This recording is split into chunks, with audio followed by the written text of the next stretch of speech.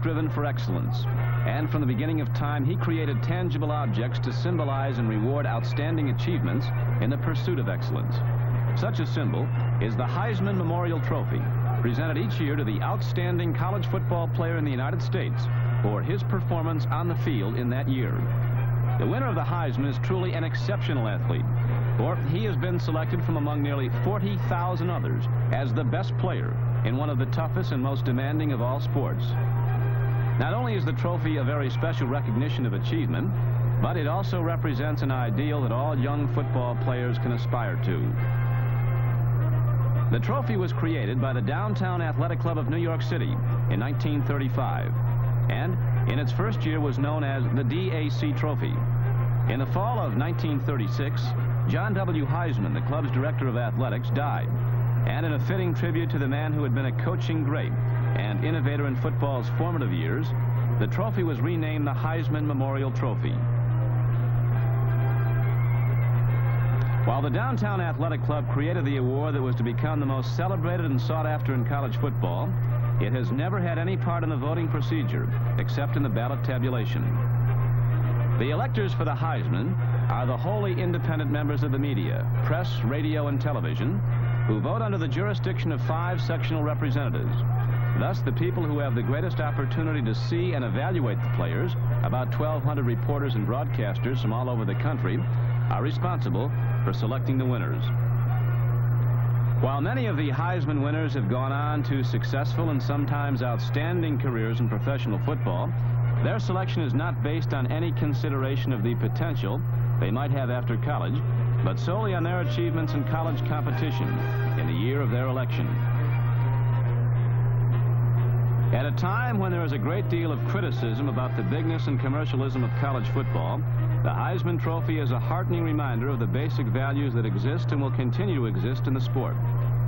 One of the most successful college coaches around today is Penn State's Joe Paterno, a man who has never lost his perspective about the game and what it means to the student athletes.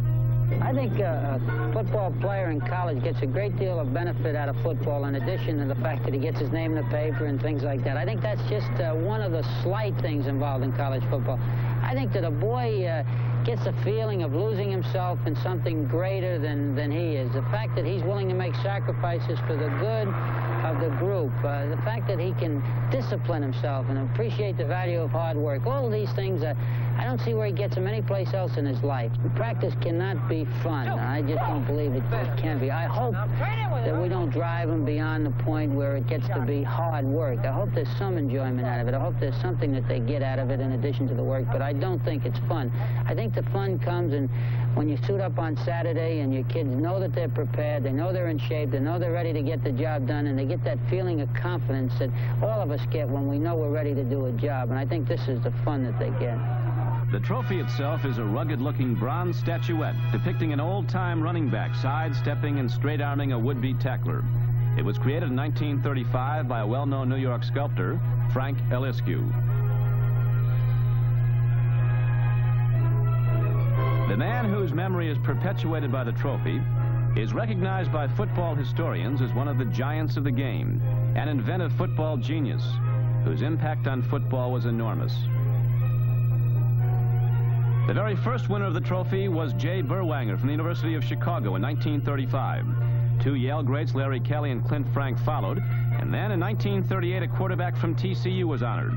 Five foot seven inch, 150 pound Davy O'Brien set an all-time college record for most rushing and passing plays in one season, 400. Two years later, the Heisman winner was the spectacular Tom Harmon of Michigan, who gained over 3,400 yards and played almost every minute of his three-year career.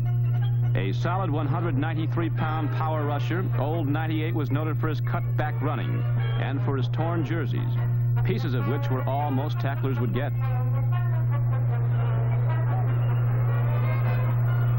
The first of six Heisman winners from Notre Dame was Angelo Bertelli, whose ball handling skills from the T formation and ability to come up with the big play helped his team average more than 40 points a game.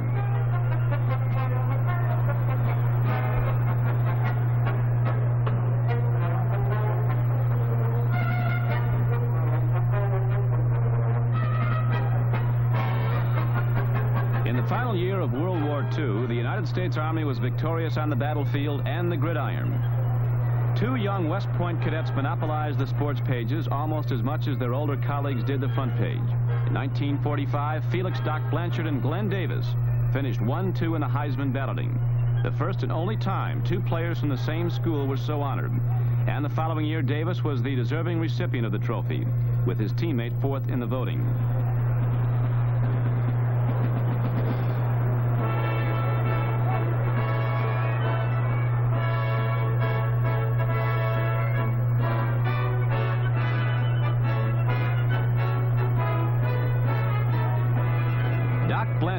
Was the Mr. Inside of the dynamic duo, a powerful fullback who was as tough to stop as the unbeatable teams he starred on for three years.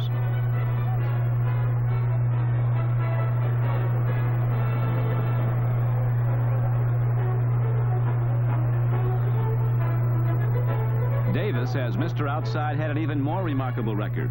He set a major college record for most yards gained per play in one season, 11.7. And no major collegian has ever approached his career average of almost one touchdown for every nine plays. He scored a total of 59 touchdowns and gained an amazing 4,129 yards from rushing and passing. Blanchard and Davis, the most celebrated college backfield combination in the history of the game. The greatest player to come out of the Southwest Conference was Doak Walker of SMU. As a junior in 1948, he was honored by the Heisman Trophy voters as the outstanding player of that year. For three years, he was an All-American, scoring 303 points on 40 touchdowns, 60 extra points and a field goal. He gained over 3,500 yards running and passing and set several Southwest Conference records that stand today. An explosive player with his variety of skills, he could make any play go all the way.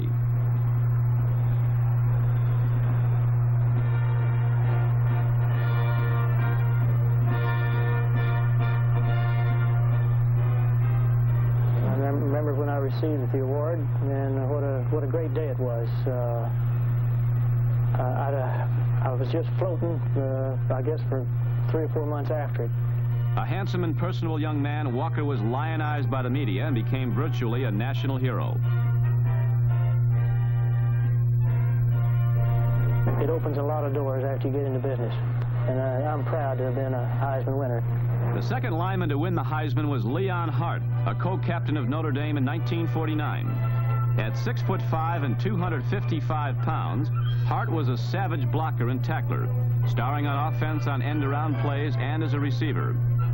Some experts consider Hart to be an all-time All-America end.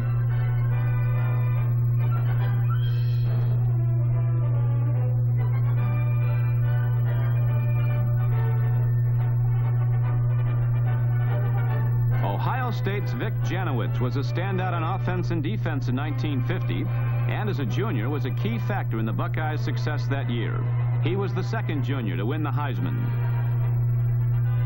1950 was uh, a year when they started a two-platoon football, and this is how we started the ball game. I kicked off.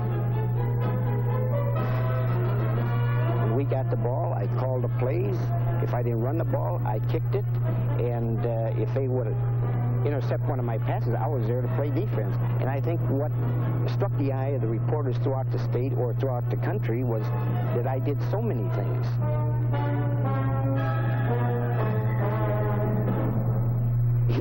You think of 1950, uh, when I was playing for the Buckeyes here at Ohio State, I never even heard of the Heisman Award. It gives me such satisfaction because uh, the Heisman Award trophy is probably the most beautiful trophy ever seen, and I have one. After two Yale players won the trophy in the 30s, the Ivy League went unrepresented in Heisman honors for 14 years. Then in 1951, Princeton started to make football news with its team and its quarterback, Dick Kazmaier. My sophomore year in the fall of 1949 was really the start of Princeton's successful 22-game winning streak. Charlie Caldwell, our coach, had come back here after the war and had not met with great success prior to that time. But we managed to win six of our nine games that year. We ended up the season winning four straight. And from that point on, during my next two years, we didn't lose. Passing and running for over 4,300 yards, Kazmaier accounted for a total of 55 touchdowns in his 27 games for Princeton. And during his career, the Tigers never lost to their major rivals Yale and Harvard. In his Heisman-winning senior year, he was the nation's total offense leader and the most accurate passer in the country. A first-rate ball handler, his opponents never knew whether he would be passing or running from that single-wing formation.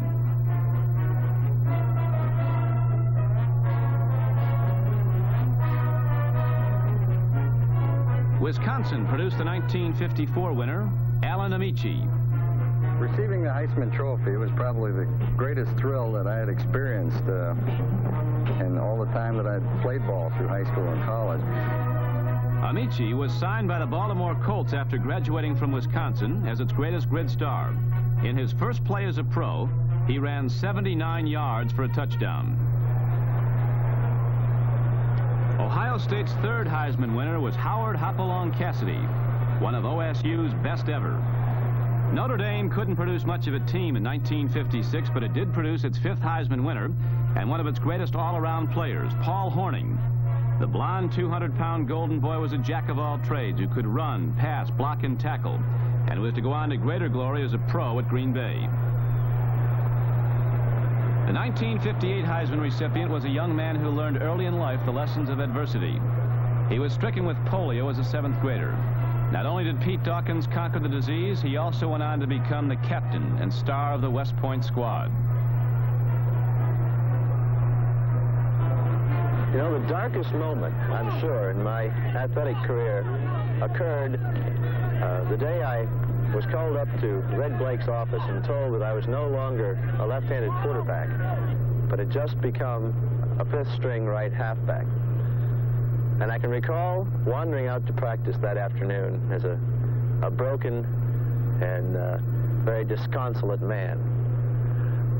And I found myself mired down somewhere in the fifth string, feeling that there was no future and no hope.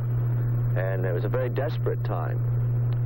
Um, and yet, out of it, one afternoon not too long thereafter, I think I was returning punts as cannon fodder for the varsity and was able to break away on a couple of them. And uh, from this very meager beginning, uh, was able to work up to a uh, modestly successful career as a college halfback. The Naval Academy had its first Heisman winner in Joe Bellino in 1960. That year, the stocky running back accounted for more than half his team's total yardage, quick kicked for a 47-yard average, and was Navy's chief scorer with 18 touchdowns. Ernie Davis, a rugged halfback who broke four of Jim Brown's Syracuse records, received the trophy in 1961. The following year, a skinny six-foot three-inch rollout quarterback from Oregon State was the winner of every major college football award and the first Heisman winner from the West Coast. Terry Baker established an amazing record in total offense, running and passing for almost 5,000 yards. He completed 112 passes for over 1,700 yards and 15 touchdowns, and led his team in net yards gained rushing.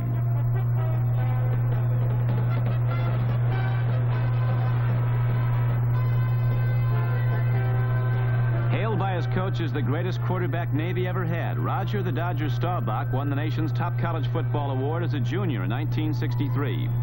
In that year, he completed 115 passes, nine for touchdowns, following a sophomore year in which he was the leading percentage passer in the nation.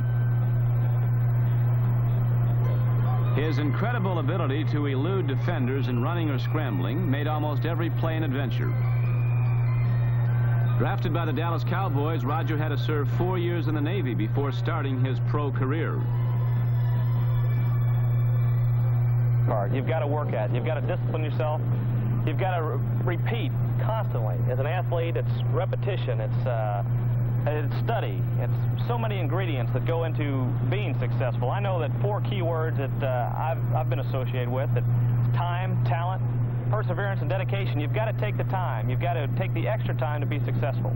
You've got to have basic talent. You can develop that talent, of course, with the time and the hard work you put into your, uh, your particular sport. In Roger Staubach's professional football career, dedication, determination, and perseverance have certainly paid off. He has led his team in the Super Bowl two times and established himself as one of the best quarterbacks in the National Football League.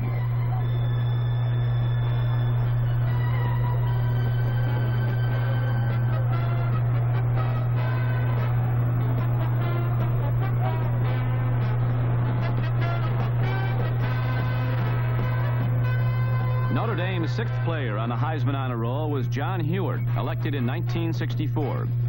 Although he played only a total of 50 minutes before his senior year, he set nine Notre Dame records and tied another, while leading his team to a brilliant season of nine wins in 10 games. No Californian had won the Heisman before 1965 when Mike Garrett brought the trophy to the Golden State and USC as the nation's leading rusher. The 5 foot 9 inch, 190 pound halfback had over 4,800 yards in total offense in his three years as a Trojan and holds nearly all of Southern California's offensive records.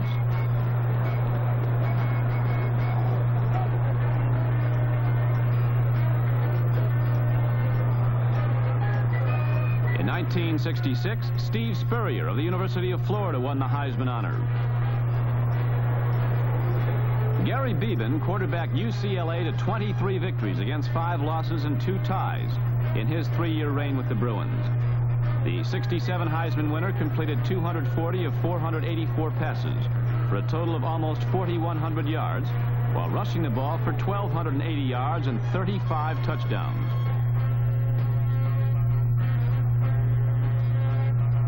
The incomparable O.J. Simpson easily captured the trophy in 1968 as USC's second winner. This incredibly gifted athlete piled up a monumental record in two seasons at Southern Cal, gaining over 3,100 yards in 18 games. My wife and I, we spent the evening with, uh, at Mike Garrett's house. He was giving a little party, and uh, I can remember walking in there, and everybody was having a good time, and in his living room there was his trophy. And I remember looking at that time,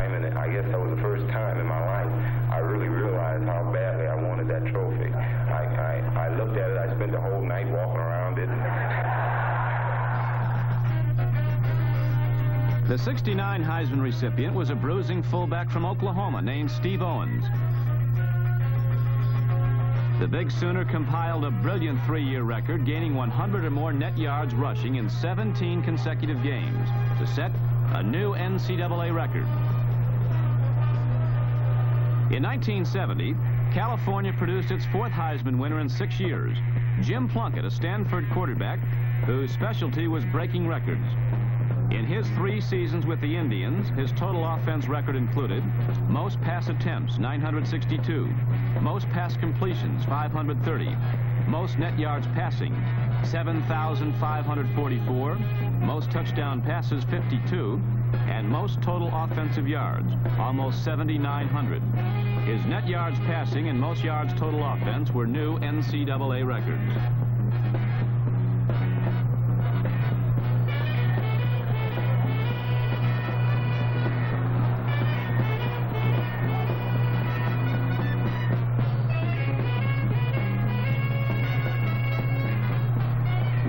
Teams coached by John Heisman in the early part of the century was Auburn. But it wasn't until 1971 that a Tiger won the trophy that memorializes their coach of long ago. As a three-season starter at Auburn, Pat Sullivan led his team to 25 victories in 30 games. With Sullivan at the helm, the Tigers averaged over 34 points and 425 yards a game throughout his three-year tenure as a quarterback.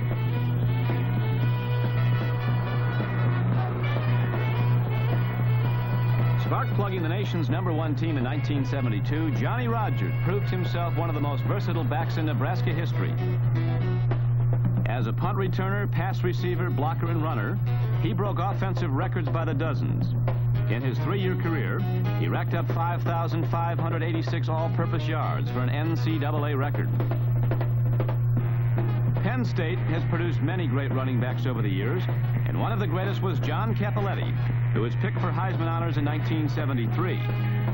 An all-around athlete, Cappelletti was an all-state quarterback in high school and a defensive back as a sophomore at Penn State before he became a slashing, driving running back who averaged 120 yards a game and over five yards a carry.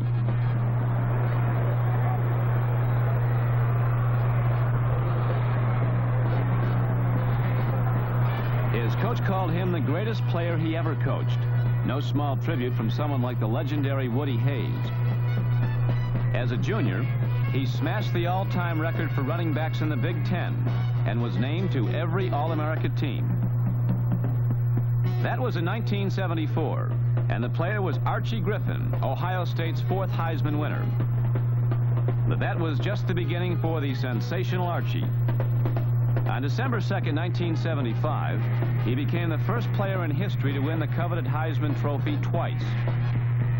His career running yardage at Ohio State totaled 5,176 yards, the NCAA major college record. He also holds the NCAA major college record for total career yards gained in all classes of running at 6,003. Perhaps his most startling statistic was his 31 consecutive games in which he gained 100 yards or more. It could be said that Archie Griffin is the number one ground gainer in the history of collegiate football.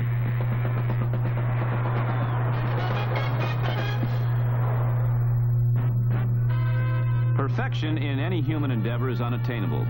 But the pursuit of perfection leads to excellence, and the men who have been the honored recipients of the Heisman Memorial Trophy over the last 41 years achieved excellence on the football field. For each one, the awarding of the Heisman Trophy was a symbolic way of saying, this man, in his year, was the very best.